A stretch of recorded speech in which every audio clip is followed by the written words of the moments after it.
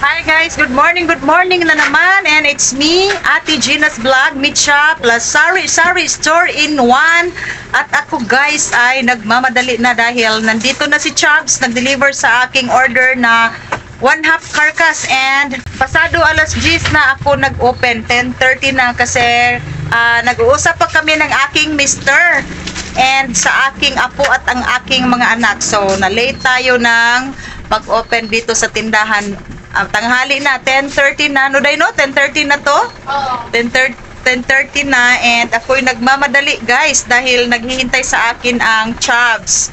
Nag-deliver sa atin ng one half carcass 45.1 kilos. Medyo malaki ang kanyang carcass. So ah, pag hindi yan mauubos ay pang dalawang araw na naman natin yan siya so bukas Friday, wala tayong order pag hindi yan siya mauubos. And then, marami tayong dressed chicken. Maraming delivery natin kahapon. So, ngayon, pork carcass lang at saka ah, magpa-deliver ako ng pork chorizo and chicken chorizo ah, sa palengke. Paano na lang natin ng ipahatid ko na lang sa motor.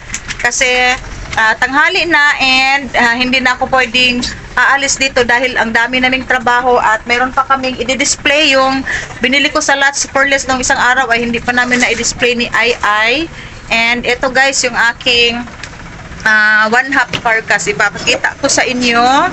And thank you so much guys ha for watching my vlog and see you on my next vlog na. Bye bye!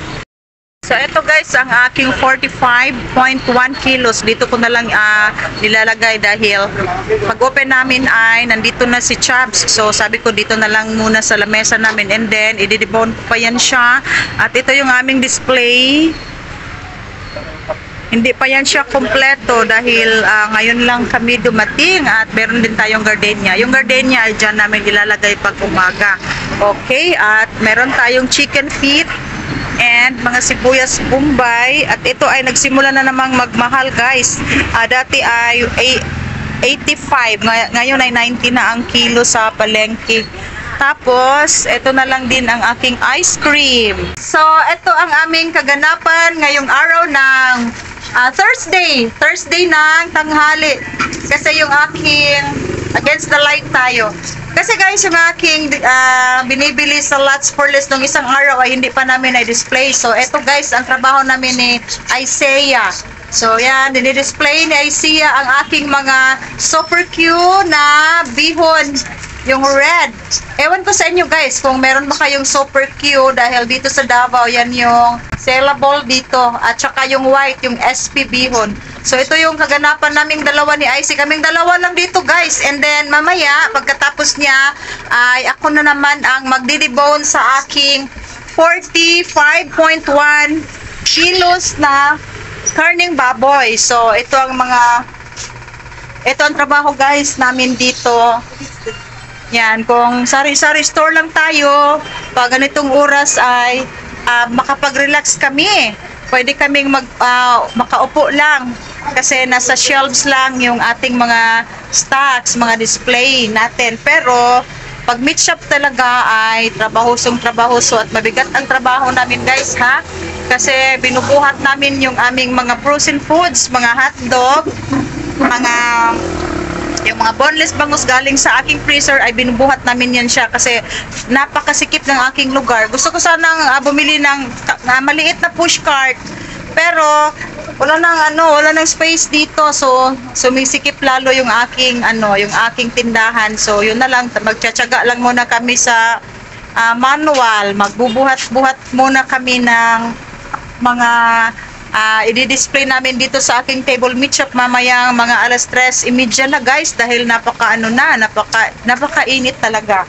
So itong karning baboy kanina pa ito 10.30 dineliver at hindi ko pa naipasok sa freezer. So kumakain lang kami saglit, nagluluto si Icy, tapos kumakain kami and then ito na naman ang trabaho namin dahil kaming dalawa lang at ako ay naghahanap pa ng sales lady na yung ah, sincere talaga na ang pakay niya ay magtatrabaho talaga hindi yung ah, tumitikim-tikim lang sa pag ah, sa pagtatrabaho ng mga tindahan and then il- ilang araw lang ay aalis naman so ako ay naghahanap pa ng ano matinong sales lady Okay? At magdidibone muna tayo sa aking ah, karning baboy. Tapos, ah, wala pa namang 3.30. 12.30 pa yata ngayon. So, ipapasok ko muna sa aking freezer pagkatapos ko itong maidibone. Okay guys, meron kaming i-unbox from from Lazada. from Bangkiruhan na ito. So, eto guys, i-open dye. So, ito guys, ang aking worth 3,000 na naman na pork chorizo and meron din tayong chicken special chorizo and itong ah, binalot ng kinain ng baboy. So, ito lahat ay worth 3,000 pesos pinadeliver natin kasi ito lang yung kulang. Marami pa akong boneless bangos. So, ito guys, at ah, bibilangin pa namin yan siya. So, tatlong klase ito. Itong chicken, special chorizo, and itong tinain ng baboy. Actually, pareho lang ang ang timpla ng skinless at saka itong binalot ng tinain ng baboy. Medyo mahal lang ito kasi ang tinain ng baboy ay napakamahal. 550 per kilo yan siya. So, ito yung ating pork skinless and ah, chicken. Okay. And then, ako guys ay nagre-repack muna ng palm oil. Ito. Tag 20 pesos. Meron akong natapos na isang tray at nandun sa lamesa sa labas. And ah, medyo madilim ang tindahan ko dahil pinatay namin ang ilaw guys dahil sa ah, sobrang init dito sa loob ng aking tindahan. Sobrang init talaga. So, ah, nagpatay muna kami ng ilaw and then mamaya mga 3.30 or 4 ay ah, i-on na namin yung aming mga ilaw dito. Napakainit sa labas at ah, mas lalong umiinit pag ah, nakabukas lahat ng ilaw dito sa tindahan. Okay? So guys, meron akong whole chicken na pahabol na ah, pinadeliver natin kasi kanina ay may bumili sa akin ng 5 kilos so short na tayo pag hindi tayo mag ah, restock. And then, ito yung aking nare-repack na na mga palm oil kanina. Meron tayong 1 kilo and 1 half kilo dito. And ito ang aking display sa aming lamesa, no? Kompleto na tayo. Meron na tayong boneless bangus dito. And ito yung aking pork pirna. Yan guys ay 335 na talaga ang kilo kasi nagmahal ang carcass ngayon. And then ito yung aking very fresh na mga pork belly. And ito yung ating mga pork chorizo na dineliver kanina. Meron tayong ah, chorizo na nakabalot sa tinain ng baboy. And then, ito din ang aking ah, pork chop. 340 per kilo ang pork chop natin ngayon. So, yan guys, oh, very fresh. And 310 ang aking pork buto-buto at ito ay na-slice na natin. Meron pa ring buo dyan. So, uh, inuunti-unti lang natin ang pag-chop kasi mainit pa guys, no? And then, ah, ito yung ating nakasabit na dalawang pork pata and special cut na pork ribs. Yan guys, oh.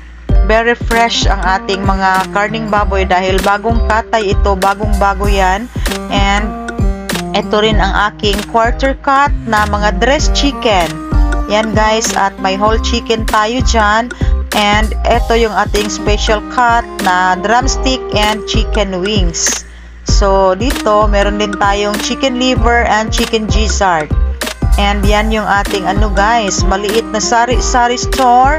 And sa harap talaga ang aking, nasa harap talaga ang aking table meat shop. Kasi ito talaga guys ang aming ah, main na mga produkto na binibenta dito sa aking tindahan. So, yan yung view ng aking sari-sari store na sa likuran and ang ating mga kapitbahay. Yan yung katabi ko RD Pawn Shop at yung dry goods dyan na nagre-rent sa building nila ni Mr. So, ito yung ating sari-sari store and yan yung aking bulkless rack na galing sa aking sari-sari store sa bahay guys. Yan. Uh, dinidisplay ko dyan yung aking mga wine kasi matibay na matibay yan siya at dito rin ang aking malaking chiller na galing din yan sa bahay at ang ating gardenia loaf bread. So, ang ating selecta ice cream ay yan na lang. Baka next week ay mag-order na naman tayo at sa tampong case na cobra. So, ang gandang tingnan guys ng aking Voltless Rock at ah, ang mga palamig, mga mineral water, mga coke, ang naka-display kasi matibay na matibay yan siya. Tapos, andyan din yung ating mga chikes, pansit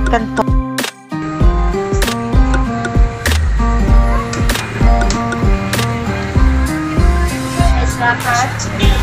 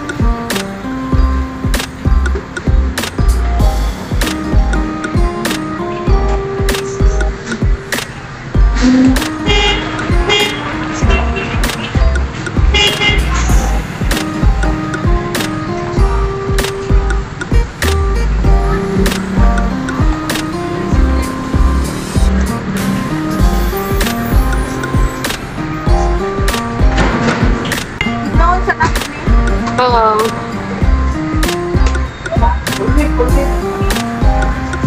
Ay,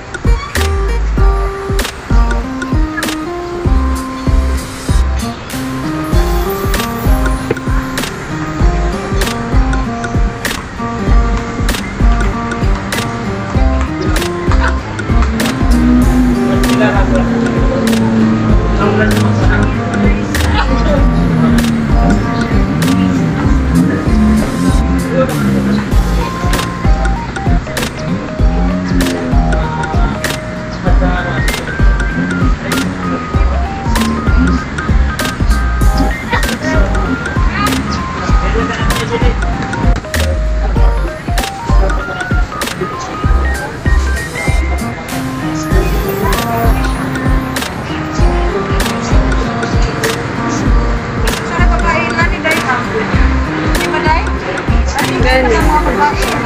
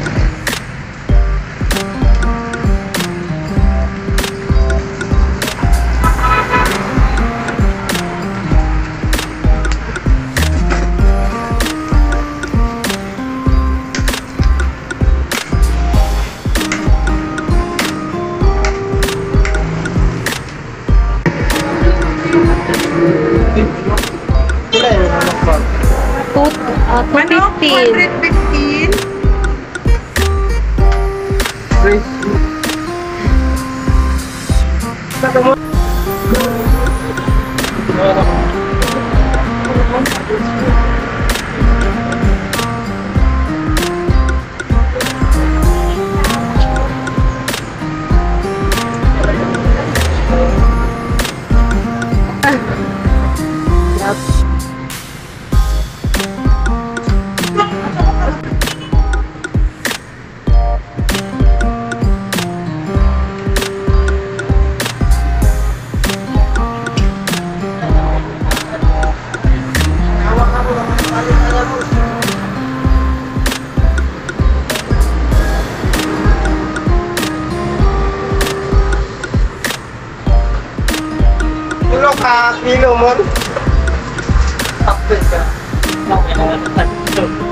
Two, muli yung ipo nila good. Chris Smith, no? Ma'am, Nick. Ma'am, no? Oh, breast po. Ka na siya breast. Pero na siya yung wings. Pila? Pila kayong kilo, ano eh? 215. Basta ay